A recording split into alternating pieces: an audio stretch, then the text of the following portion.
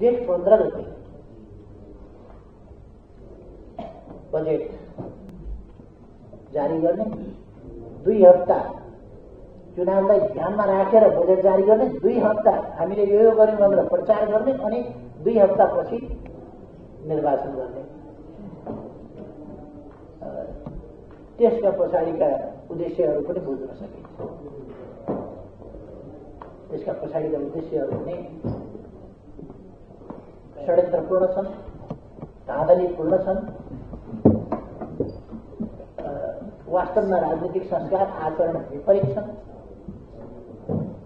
र त्यो कुरा त्यस ढङ्गले मान्य हुन सक्छ लजिक छैन न्यु खोजाइ छ त्यस कारण एकै चरणमा निर्वाचन हुनु जाहिर हो जुन कुरालाई ध्यानमा राखेर पहिले धेरै लागि फागुन नौ गते निर्वाचनको मिति घोषणा भएको। अहिले चाहिँ वैशाख नौ गते हालमा दुई महिनापछि यो भएन त्यो भएन।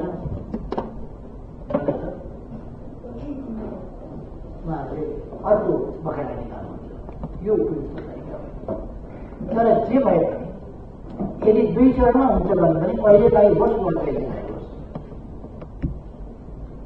पन्ध्र गते बजेट जारी गर्ने। अनि त्यसको पन्ध्र दिन प्रचार गर्ने निर्वाचनको मिति घोषणा भइसकेका छ। निर्वाचन एक चरण भइसकेका छ। अनि त्यसपछि बाँकी अधिकांश ठाउँहरूमा अर्को चरणको निर्वाचन चाहिँ बजेट जारी गरेर गर्ने भनेपछि अर्कोपल्ट अर्कोले के गर्ने हो भने अहिले त तिनवटा प्रदेश भनेको छ। अर्कोपल्ट अर्कोले एउटा प्रदेश भनेको अर्कोपल्ट अर्कोले एउटा प्रदेशको पनि एउटा अंश भनिदिने हो। अनि बिचमा बजेट जारी गरिदिने।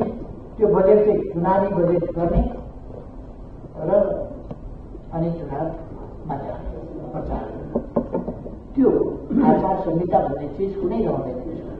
त्यो आचार संहिता विपरीत अनुचित अनैतिक कुरा हुन्छ त्यो मान्य हुन सक्दैन।